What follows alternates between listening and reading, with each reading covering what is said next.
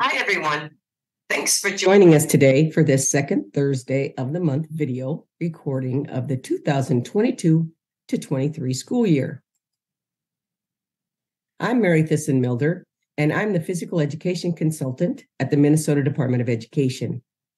This presentation is a product of the professional development plan designed by the Minnesota Department of Education's physical education leadership team made up of state leaders in physical education from the Minnesota Society of Health and Physical Educators, or MnSHAPE, representatives of Minnesota's Developmental Adaptive Physical Education, or MNDAPE, the co chairs of the Physical Education Standards Committee, and higher education.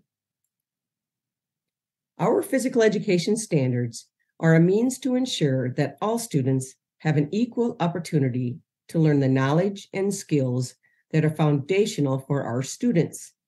They provide a clear picture for teaching and learning by identifying essential outcomes for all students to achieve by the end of a grade level, grade band, or course. This word cloud is a great visual that identifies key concepts in our standards.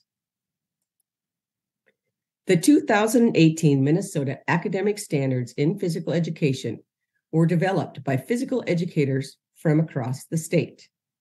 The Minnesota legislature directed MDE to adopt and adapt the most recent version of the Shape America standards and outcomes with the guidelines that we would maintain the integrity of the national standards. Our document consists of grade level benchmarks laid out in learning progressions at the elementary, middle, and high school levels. The document also includes three appendixes a glossary of terms, descriptions of activity categories, and critical elements. If you need copies of the standards, you can download them at the MDE or MnSHAPE websites, which I will show you in a few slides. Originally, our standards were to be implemented by the 2021 to 22 school year. However, due to the pandemic, the Minnesota legislature delayed full implementation until the 2022 to 23 school year. This slide identifies the key topics in the MDE Implementation Assistance Plan. Professional development topics are available online. Our first year of professional development allowed us to offer face to face workshops in regions across the state. When the pandemic interrupted those trainings, videos were created to highlight the key concepts and the topics covered in the first two years of professional development. This slide identifies those topics. They can be accessed at both the MnSHAPE and MDE websites. This slide identifies the release dates and the topics to be addressed this school year. Our focus today is to talk about formative and summative assessment. This slide gives you the URLs of the websites that have all the resources available for the physical education standards. That is at the MDE website and the MnSHAPE website. During today's presentation, we will provide a brief overview of Shape America's essential components of physical education and review formative and summative assessment. Shape America has identified the essential components of physical education that provide structure for a physical education program. They created a guidance document for the components. We will use it to break down the essential components of physical education and outline why it is a key element of a well rounded education for all students. This document along with all documents and resources identified in this presentation, is available on the Shape America website. Defining the essential components of physical education raises awareness for the critical policies and practices that guide school districts and schools in addressing students' educational needs. School districts and schools also must establish the written curriculum that defines what is to be taught guides rigorous instruction that supports the curriculum, and identifies student assessment that will provide evidence of student learning. The essential components encompass four fundamental areas policy and environment, curriculum, appropriate instruction, and student assessment. Effective practices within each of these areas support the delivery of quality physical education. Today, we will examine best practices in assessment. The final essential components of physical education is assessment. At its core, assessment requires gathering evidence of student learning and making inferences on students' progress and growth based on that evidence. The purpose of assessment is to provide evidence of student learning and students' achievement towards outcomes and standards. Teachers can use them to plan for future instruction, provide feedback to students, formalize the observation process, and document program effectiveness. Any learning program is made up of assessments that serve different purposes. A final assessment demonstrates proficiency in the standards and benchmarks that were addressed in the unit. Smaller assessments build towards the larger assessment, allowing the teacher to check for understanding and course correction to make sure that all students are on track to achieve unit objectives. First, assessment at the curriculum level will be addressed, then, assessment at the unit or lesson level. States and school districts require physical educators to develop and implement annual assessments aligned with state standards and grade level benchmarks that provide evidence of student learning. Multiple terms are utilized to refer to the evidence of student learning grade level outcomes, or GLOs, student learning objectives, or SLOs, student growth outcomes, or SGOs, or student growth measures, SGMs. Regardless of what they're called, they determine what students will know and be able to do at the end of a course of study or grade based on the relevant standards, curriculum goals, and student learning objectives or outcomes. At the curriculum level, student assessment should align with the state physical education standards and grade level benchmarks. They should be included in the written physical education curriculum along with administrative protocols. Include evidence based best practices that measure student achievement in all areas of instruction. Be graded in a way that relates directly to student learning objectives identified in the written physical education curriculum. And follow protocols for reporting and communicating student progress to students and parents or caregivers.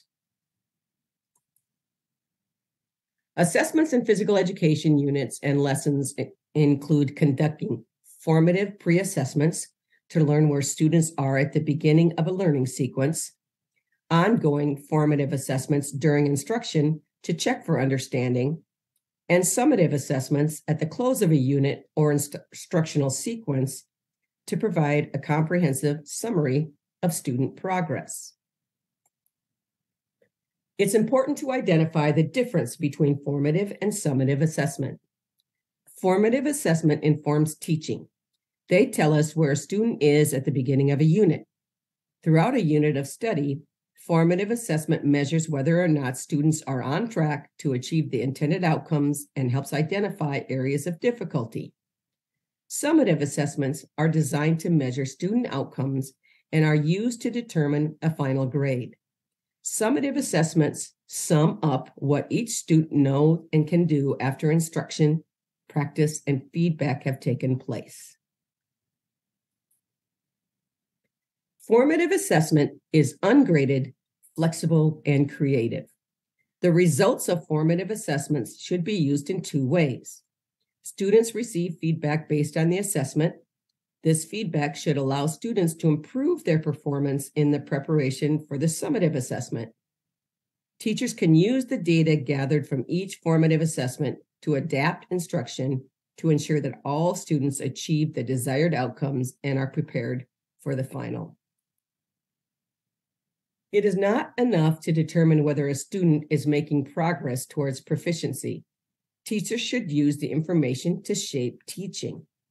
Formative assessment results inform if students are ready to continue instruction or if review is needed, or if reteaching the skill or content is necessary before moving on. If students are on target or progressing rapidly, consider ways to deepen the learning or extend it to other contexts. If a student fall, is falling short of making or critical errors, use that information to determine where to focus efforts and which concepts to reinforce. Here's a formative assessment example. Students self assess a skill using a teacher's criteria, for example, a checklist, while the student participates in a game or game like activity. The teacher can then take the data from the student's self assessment to determine if they are ready to move on to the next piece of instruction. Here are some examples of formative assessments pre assessments observations, rubrics, checklists, rating scales, physical activity logs, portfolios, and projects. Formative assessments don't need to be complex. They can be as simple as observing students why they complete a task. The key is to use the information gathered to determine where to go next. By contrast, summative assessment is graded and provides an opportunity for students to demonstrate whether they have achieved the intended outcomes. Summative assessments show what students know and are able to do. Summative assessments are conclusions based upon a statistical analysis of data, such as percentiles, standard scores, or other statistical comparisons, and are used to assess overall achievement. The line between formative and summative is not always crystal clear. For example, portfolios can be used for either summative or formative assessments. The thing to consider is the weight of the assessment. Is the purpose of the assessment to provide feedback on students' ability or knowledge? Then it is formative. Does the assessment measure how much uh, content a student has learned or can perform? Then it's summative. It's important teachers follow school district or school protocols for reporting and communicating student progress to students or parents or guardians. Here is an example of an elementary standards based progress report from Shape America. Fitness testing is a valuable part of fitness education when integrated appropriately into a comprehensive physical education curriculum. However, Students' fitness scores should not be used to grade students or evaluate physical education teachers. See Shape America's position statement on appropriate and inappropriate practices related to fitness testing. The appropriate fitness guidelines are organized into a grid, which includes a side by side comparison of appropriate and inappropriate practices in elementary, middle and high school physical education classes. These side by side comparisons are then organized into sections of areas for concern for physical education. To assist with employing a wide variety of instructional strategies and assessments, Shape America has created a document entitled Appropriate Instructional Practices Guidelines K 12, a side by side comparison. This document outlines developmentally appropriate and inappropriate practices in elementary, middle, and high school physical education classes and is organized into five separate sections learning environment, instructional strategies, curriculum, assessment, and professionalism. The guidelines are organized into a grid organized by side by side comparisons of appropriate and inappropriate practices. These side by side comparisons are then organized into sections of areas of concern. The assessment section is full of great information, but can be a lot to take in at once. To familiarize yourself with the document, pick one section to explore further, then pick another. Rate yourself in each of the areas as doing well or needs improvement or practice needs to stop. Complete the student assessment section of the physical education checklist by marking each item as yes, no, or in progress. Make notes in the comment section regarding the current state of each item. Use the guidance for completing the checklist. This video has provided an overview of summative and formative assessment. For more detailed videos around assessment in physical education, additional videos have been created. They are entitled Best Practices in Physical Education Assessment, Beyond Bundling Writing Performance Outcomes in Physical Education, Best Practices in Physical Education Grading, and Applying Physical Education Standards Based Assessment and Grading Practices. They are available on the MDE and MnSHAPE websites.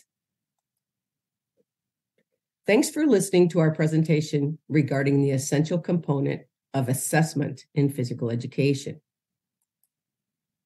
Tune in next month as we pull everything together from our standard implementation series. I again encourage you all to utilize the available resources on both the MDE and MnSHAPE websites. These videos are intended to assist you on your standard implementation journey. I wish you all good health and happy teaching.